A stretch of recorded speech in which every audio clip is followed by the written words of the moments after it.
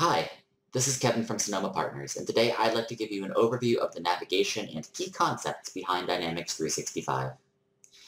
The easiest way to think about Dynamics 365 is as a filing cabinet. Imagine that you're visiting your doctor. In one cabinet drawer there might be folders for each patient record, and in another cabinet drawer there might be folders with data sheets for commonly prescribed drugs.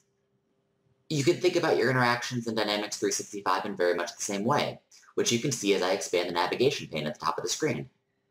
Within the system, there are different types of entities representing things like contacts or leads. Selecting an entity is like deciding which drawer of the filing cabinet we want to open.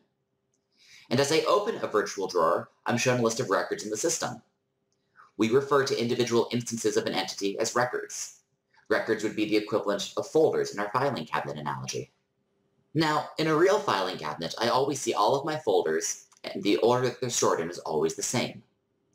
Here is one immediate benefit of using a digital system. As I open a virtual drawer, I'm shown what we call View. This is a configurable lens that can show a filtered list of records in a variety of sort orders. So if I'm looking at a list of leads, maybe I want to pare down that list to only view my leads. I can do this by navigating to the View selector and changing my view, or my lens. Finally, as I find the specific record that I'm interested in, I can double-click it to open it, just like I would pull out a file from my filing cabinet. As the record loads, notice that the navigation bar at the top of the screen displays some breadcrumbs, so it's easy for me to understand where I am in the system and where I came from. I started in the sales module, I navigated to the lead entity, and we're now looking at the Preston Davis lead record. And if I want to step back to where I came from, I can navigate easily back to the lead list view or my default homepage by clicking those breadcrumbs at the top of the screen.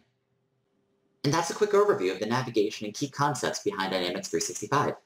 Thanks for watching, and stay tuned for additional Dynamics 365 training videos for new users.